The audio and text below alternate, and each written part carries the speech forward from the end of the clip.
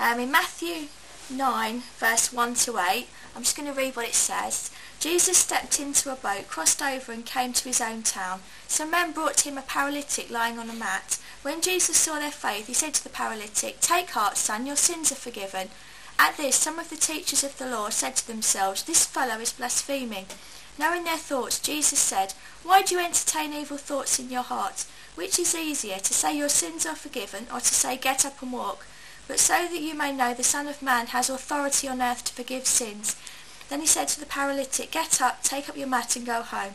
And the man got up and went home. When the crowd saw this, they were filled with awe, and they praised God who had given such authority to men. Now what Jesus did for that man 2,000 years ago speaks to us now in so many ways. Firstly, it speaks about salvation.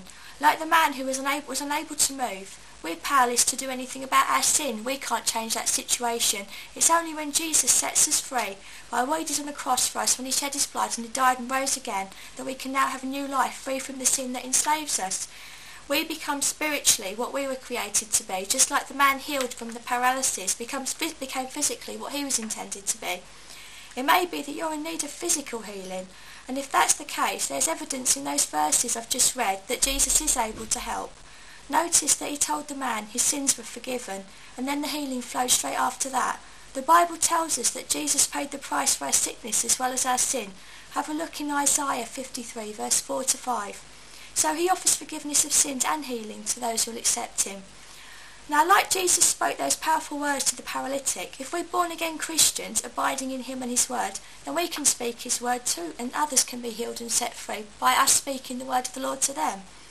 And it may be that we as Christians sometimes feel stuck in a situation, maybe like that paralytic, we can't move, until we hear a word from Jesus that tells us that we can for our situation. And if that's the case, let's just look to him in faith, because as long as we're walking with him and not trying to rush ahead or force his hand, he will give that word at exactly the right time.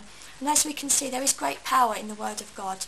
When the paralysed man woke up that morning, do you think he had any idea of how his life was about to change? He went from being unable to move to total freedom, and his life was transformed, and it's all because of a word from the Lord.